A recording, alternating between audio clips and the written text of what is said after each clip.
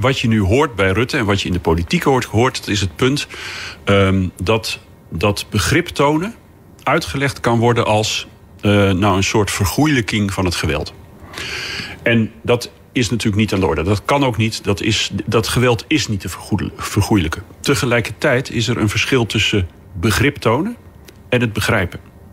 En op dat laatste punt, dat, dat laat hij liggen. Daar raakt hij niet aan. En ik begrijp het ook wel in zijn rol aan het begin van de week... te midden van die rellen, achter de politie en de burgemeester staan. Helemaal mee eens. Maar er, er ligt wel een andere vraag onder van, om het te begrijpen. We hebben deze week in de Kamer een debat gehad. Ik heb daar een motie ingediend. Um, is door eigenlijk alle partijen ondersteund dat er ook met andere ogen of andere, uh, andere deskundigheden geadviseerd moet worden aan het kabinet. Dus dat de maatregelen ook meer vanuit een gedragskundig eh, perspectief bekeken moeten worden. Dat de geestelijke gezondheidszorg uh, in de maatregelen ook meer aan de orde moet komen. En ook bijvoorbeeld de openbare orde en veiligheid. Nu wordt het kabinet vooral geadviseerd door dat OMT.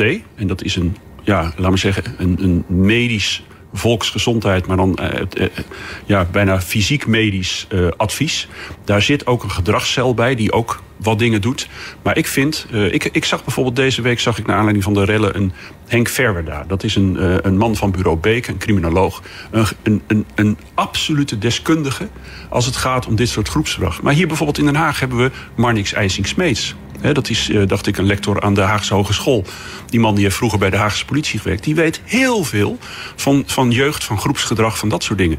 En zo zijn er heel veel deskundigen waarvan ik denk... wij kunnen het ons niet veroorloven om die mensen niet in te zetten op dit moment. Dus ik begrijp heel goed dat Mark Rutte zegt nul begrip. Ik heb ook nul begrip. Maar we moeten wel begrijpen wat hieronder ligt.